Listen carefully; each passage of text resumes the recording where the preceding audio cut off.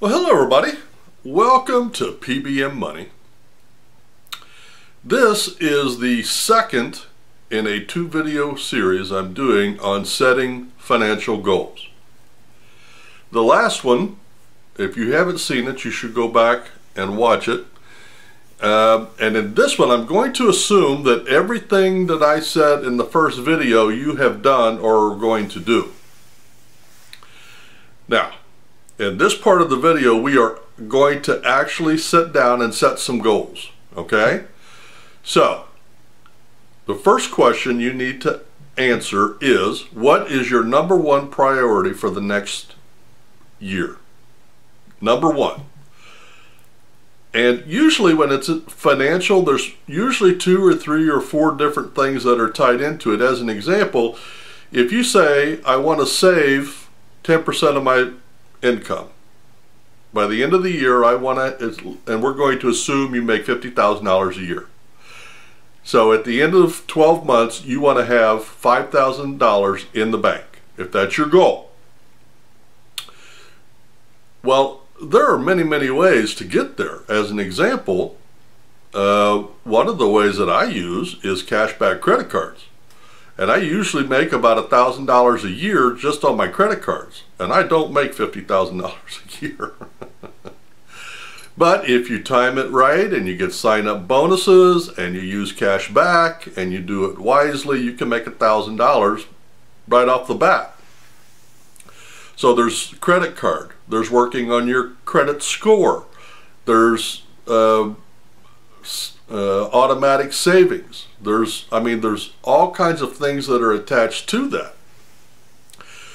So as you zero in on saving $5,000, okay, if you, if you can do, if you, if you've got an average credit rating and you can get two cashback credit cards in a year and each one of them has $200 sign-up bonus. That's $400. Plus, you get cash back. So now you got $600 cash back in a year. That's $50 a month. That's easy to do for the average person, okay? So at the end of the year, you've got $1,000. Well, that only leaves $4,000 for you to have to come up with out of your uh, pocket. And I've done other videos that, like in the summer, if you mow two yards for your neighbors uh, each week for 35 bucks a pop, that's 70 bucks a week times four weeks is 280 times six months depending on where you live that's 13 14 1500 dollars. Well you're halfway home. If you make $1,500 in the summer mowing two yards plus do your credit cards you just saved $2,500 in the bank. You haven't even touched your payroll yet. See what I'm saying? There there are many ways to get there. You need to examine each and every way. Some you will discard, some you will keep. I'm going to assume that I'm going to get $1,000 for my cashback credit cards next year. Okay? Now, each time you come up with an idea, as an example, in, in our example, the $1,000 cashback credit card, so that means you need two credit cards. That means each one of them needs to get $200 sign-up bonus. So that means you go on the internet and you research and you and you plan it out. I'm going to get one in January and I'm going to get one in August. Okay? Because you're going to need to spend money to get the sign-up bonus and then you're going to need to get into the habit of doing it and paying it but you also need to concentrate on your credit score because if your credit score isn't good, you won't be able to get the get the offers. So you got to work on your credit. And in the last video I talked about any credit cards or loan payments that you have, have them taken out of your account automatically. That way your credit rating will go up or at least stay good. So that's tied in. So you need to look at each and every scenario. Okay, now to each scenario, you need to put a dollar amount on. In order to get $1,000 cash back, you need to spend around six to eight hundred dollars uh, per month on your credit cards with decent cashback amounts. And that will vary depending on what percentage you're getting on cash back. But sit down and do the scenarios, figure out how you can do it. Will it be there? Pay off your credit cards every month. Don't carry balances. That's the key. If you carry balances, you're shooting yourself in the foot. Yeah, they'll be paying you 3% on gasoline, but they'll be charging you 18% if you don't pay it off. So make sure you can pay it off. And then put a dollar amount on each one. So credit cards, $1,000. Mowing yards, 1500 and and what how does that affect? So if you don't have a mower you got to buy a mower. And then you got to buy gasoline and you got to transport it back and forth. I mean go through each scenario put a dollar amount on it. And then once you've got a, a scenario that starts to gel and starts to make sense to you, then I want you to go through and I want you to mark down on a piece of paper all 12 months of the year. And I want you to write out how much you're going to save that month based on the scenarios. So, off to the side, what I would do is I would put credit cards, $1,000. What does that equal in a month? That means you need to make $400 sign-up bonus, which leaves $600, which means you need to make $50 a month average cash back on your credit card. And then each month, you write that down. So you save $50, $50, $50, $50, all over, each month of the year. Mowing yards, so for six months it'll be zero, zero, zero, zero, zero. And then for six months it'll be, uh, what we say? Uh, 35, 74, 7 is 280. 280, 280, 280, 280, 280. Okay. After you go through each scenario that you've got, how much can you take off for your uh, savings from your paycheck? Can you take, uh, let's see, if you need 5,000, that's 500 and you've got uh, probably a hundred, a hundred bucks, so you need 400 bucks, that's a hundred bucks a week. Then you go into your bank and you say, I want you to take a hundred bucks a week out of my paycheck and put it into my savings account. Now, here's where the dedication comes in.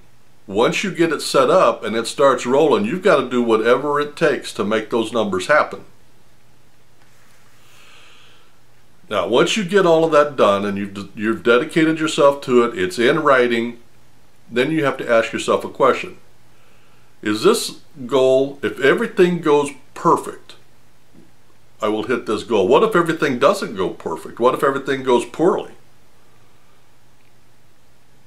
Then you need to ask yourself, well, what's my fallback going to be? How quickly can I regain? Uh, have, have, an, have an alternative plan because you've got to stick to your goals.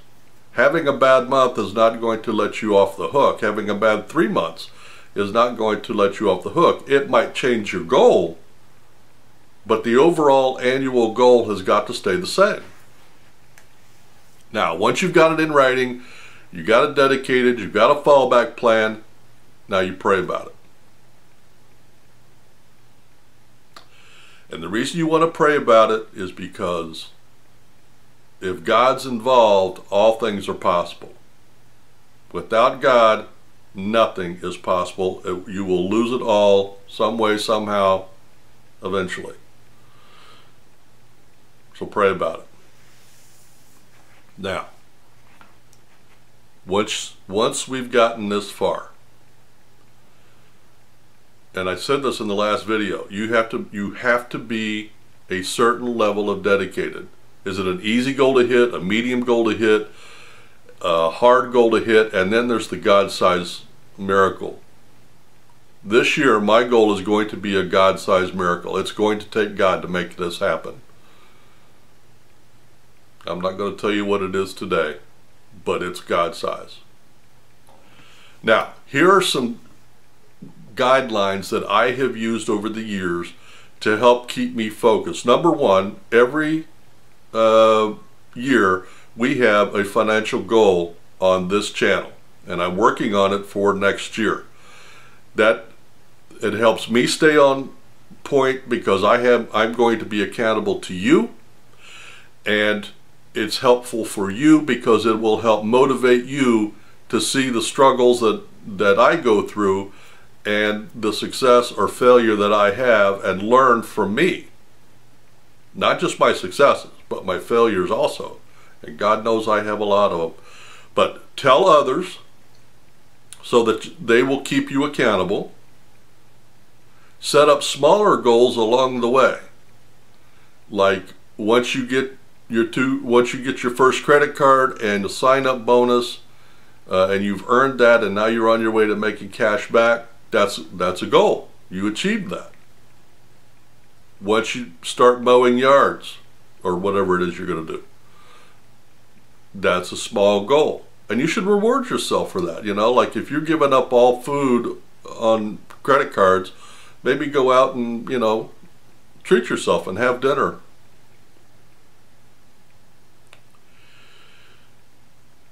And then another thing that I do is I keep track.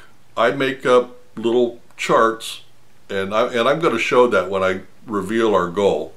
Uh, I make up charts like uh, in our financial goal I've got all of, every place I've got money I've got listed and how much is in there and the date that I did it and uh, mine account versus the ministry account and then the total at the end and the change uh, but write it down so you can keep track and notice your progress. And I'll give you a good example why that's important. I thought that last year I had saved about uh, $15,000 because I didn't write it down. I didn't think. I had written it down and was unaware of it and I came across it a couple of days ago. We saved almost 20,000 last year. So it's important. It, it, it helps to motivate you to know that, that you can you can do it, you are doing it, you're in the middle of doing it. Because I'll tell you, in the middle of battle, it's hard to it's hard to remember why you're in the battle. It's hard to remember uh, the goal at the end. But if you keep track of it and you can see progress each and every month, and you're slowly getting there, that will keep you motivated. And then lastly, get started. You don't have to wait till January. Go through the process I talked about in these two videos. Write it down. Dedicate yourself and then just get started. Go do it. Go to the bank, set up your savings accounts, uh, go to HR, get your paychecks direct deposited, uh, tell the banker to automatically take money out of your account to savings and get started. The worst thing you can do is plan, plan, plan, plan, plan, and then do nothing. It looks great on paper, but it don't mean anything to your bank accounts if you're not going to go do it. So do it. Get started. And that's what this channel is about. Doing it, keeping track of it, and in the long run, we will all be better financially off but you got to be dedicated and you got to get started. So turn this video off, go do whatever it is you need to do, but do something. And I'll give you a little hint. I learned something years ago, and I still try to do this today. Whatever your goal, do one thing every day towards that goal. Just one thing. It does not have to be a huge thing. It could just be thinking about the goal analyzing it, like on the credit cards. What is the best month? Just think about what's the best month and, and or research, you know, spend 15 minutes a night, uh, one or two nights a week. Just researching what's the best credit cards out there, what's the best cash back, what's my credit rating, can I call, you know, just one thing every day to help you get to your goal. That will be 365 things to help you get to your goal after you've started. That's a big thing. It's not much each day, but at the end of the year, it adds up a lot. Well, good luck. Join us this year for our game, and let's be motivated together. Let's learn together, and uh, let's achieve together. Have a great day, a great week. Happy planning and investing.